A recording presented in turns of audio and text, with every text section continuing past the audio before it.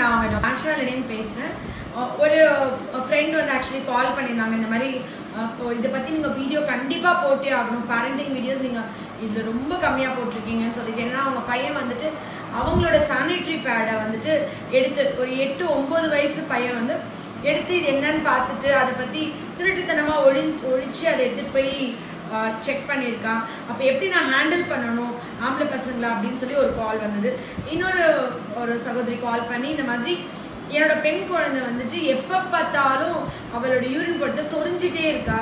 அப்புறம் தூக்கத்தில் வந்து பல்லு கடிக்கிறா. அதுக்கப்புறம் வந்துட்டு ரொம்ப பயப்படுறா. கனவுலலாம் பயந்து எழுந்திரிச்சு இது பண்ணுறா இன்னொருத்தவங்க கால் பண்ணி இந்த மாதிரி இதுக்கெல்லாம் மெடிசன்ஸ் இருக்கு ஆக்சுவலி என் பையன் காலையில் எந்திரிக்கும் போது அவனுக்கு வந்துட்டு ரொம்ப அந்த யூரின் போடுறது கை வச்சு நோண்டிட்டு இருக்கான் இப்போ இந்த நிறைய செக்ஷுவலாக எட்டு பத்து வயசு குழந்தைங்களை எப்படி நான் ஹேண்டில் பண்ணணும்? இதுக்கு எதுவும் மெடிசன்ஸ் இருக்கா அப்படின்னு சொல்லிட்டு. ஆக்சுவலி நான் ஒரு ஆர்டிக்கல் படிச்சுட்டு இருந்தேன். இந்த வேர்ல்ட் வார் டைமில் செகண்ட் வேர்ல்ட் வார் டைமில் வந்துட்டு அந்த நிறைய போ போர் வீரர்கள் இருப்பாங்க இல்லையா? மிலிட்ரி பீப்புள்ஸ் அவங்கள வந்து மாசக்கணக்கில் வந்துட்டு போராடிட்டு இருப்பாங்க. அந்த மாதிரி டைமில் வந்து அவங்களுக்குள்ள நிறைய செக்ஷுவல் இன்ஸ்டிங் வந்துட்டு அவங்க அதனால வந்துட்டு நிறைய பிரச்சனை உள்ளுக்குள்ளே கோஆப்ரேஷன் இல்லாமல் இருக்கக்கூடாதுன்றதுக்காண்டி ப்ரோமியம் கேஸ் வந்துட்டு மைல்டாக அவங்க இருக்கிற ரூம்ஸில் வந்துட்டு அந்த ஃபியூம்ஸை வந்து விடுவாங்க. அப்போ அவங்களுக்கு வந்துட்டு அந்த செக்ஷுவல் இன்ஸ்டிங் குறையணும்னு சொல்லிட்டு ஹோமியோபதியில் பார்த்தீங்கன்னா ஆக்சுவலி ப்ரோமியம் மெடிசனாகவே இருக்குது அண்ட் இன்னொன்று இருக்குது தைராய்டோட செக்ரீஷனுக்கு தைராய்டு ஹார்மோன்க்கெல்லாம் இது ரொம்ப இம்பார்ட்டண்ட் ட்ரீட்மெண்ட்டில் அதை நாங்கள் வந்து ஆட் பண்ணிக்குவோம்.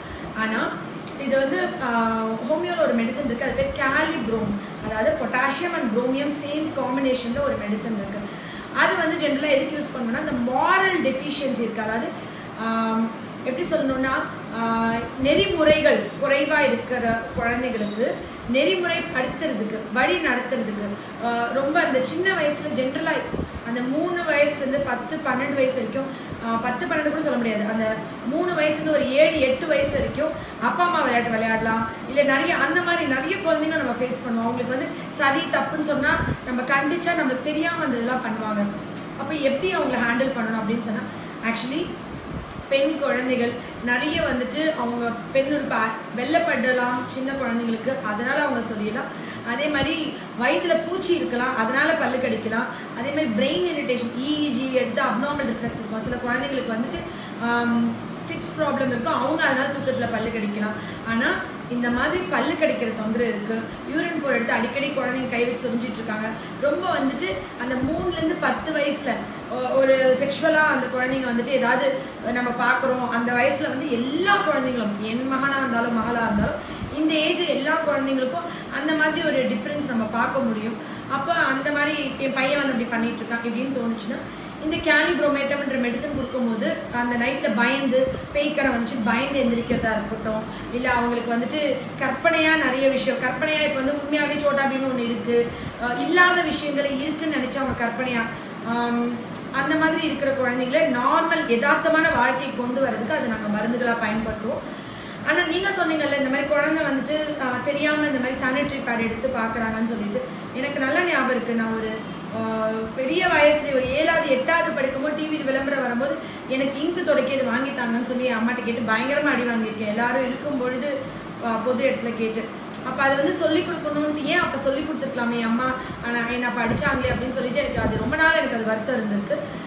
ஆக்சுவலி வந்து ஆண் குழந்தை அந்த லெனின் எனக்கு இன்சஸ்ட் பண்ணுறதுன்னு நீ வந்துட்டு நான் சொல்லி கொடுக்கறத விட ஒரு அம்மா சொல்கிறது ரொம்ப சிம்பிள் மந்த்லி ஒன்ஸ் ஆச்சு. ஏதோ ஒரு time at least three months once ஒரு ஒன்ஸ் இன் அ வைல் வந்து ஐ அஸ்வின் அம்மாக்கு அங்கே சானிட்டரி பேட் இருக்கு பாரு அதுவும் ஒரு பேப்பர் எடுத்து கொடு அப்படின்னு நம்ம சொல்லி அவங்க குழந்தை நம்மளுக்கு செஞ்சுட்டாங்க அப்படின்னா அந்த குழந்தைக்கு எப்பயுமே அது அசிங்கம் ஒரு அருவெருப்பு இல்லை தப்பு இல்லை ஒரு அதில் ஒரு சுவாரஸ்யம் எதுவுமே தோணாது.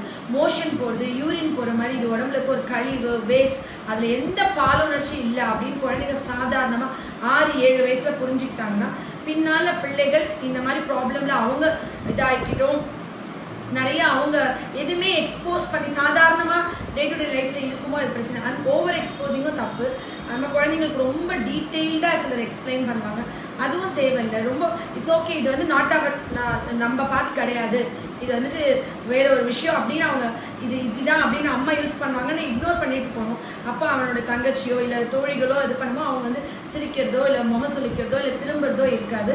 கண்டிப்பாக ஆண் குழந்தைங்களாம் அது பண்ணுங்கள் பெண் குழந்தைங்களுக்கு அந்த ஏஜ் வரும்போது எயிட் நைன் இயர்ஸ் வரும்போது ஸ்கூல்ஸ்லேயே இப்போ நல்லா எஜுகேட் பண்ணுறாங்க எங்கேயே நிறைய இன்வைட் பண்ணியிருக்காங்க நிறைய போய் நாங்கள் ஸ்கூலில் இருக்கிற கிட்ஸ்க்கு நிறைய ட்ரைனிங் அவேர்னஸ் க்ரியேட் பண்ணியிருக்கோம் அது நிறைய வீடியோஸ் போட்டிருக்கேன். கண்டிப்பாக உங்கள் அருகாமையில் உள்ள ஒரு ஹோமியோ டாக்டர்கிட்ட போயிட்டு ஒரு வேளை இந்த மாதிரி இஷ்யூஸ் இருக்குன்னா ஒரு சின்ன கவுன்சிலிங்கோட மாரல் டெஃபிஷியன்சி இருக்கிற குழந்தைங்களுக்கு அதாவது நெறிமுறைகள் குறைவாக இருக்குது அவங்களுக்கு டிசிப்ளினரி கொஞ்சம் கூட கொண்டு வரணும் அப்படின்னு சொல்கிற குழந்தைங்கள நீங்கள் ஈஸியாக இந்த மெடிசன்ஸ் கொடுத்து கரெக்ட் பண்ணிடலாம். அவங்களுக்கு நம்ம திட்டி அடித்து கோவப்பட்டு இப்படி பண்ணாலும் தப்பு. அவங்க வந்து அது ரொம்ப ஊண்டடாகி நம்மளுக்கு தெரியாமல் மறைஞ்சு பண்ணுவாங்க. ஸோ ஈஸியாக ஹேண்டில் பண்ணலாம். இது வந்து பெரிய பிரச்சனை கிடையாது. நன்றி.